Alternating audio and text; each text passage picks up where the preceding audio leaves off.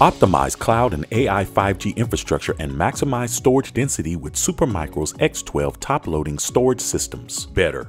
Supermicro's new generation offers application optimized building block architecture for software defined storage, now providing even more advantages with third gen Intel Xeon scalable processors. Building on a NUMA architecture with 16 DIMMs and PCIe 4.0 slots allows the latest networking cards to be used.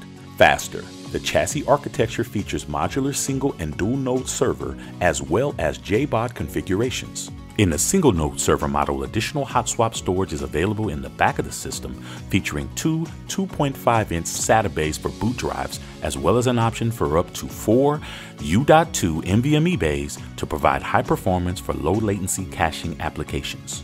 The dual node models come in two different configurations dual node twin and dual port high availability.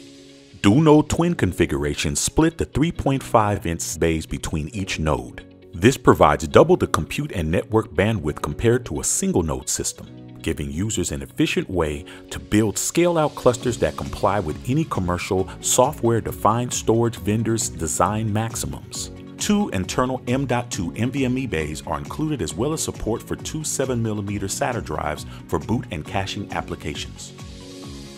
Both nodes have access to all drives providing maximum performance and supporting failover clusters for large HPC and machine learning environments. Greener. This high-density top-loading system's key advantages include operating efficiency and low TCO. With a toolless hot serviceable design, a single technician can service all active components in the data center. The system's drawer design and internal cable management simplifies rack integration by eliminating the need for an external cable management arm as well as providing a more robust fixed chassis installation.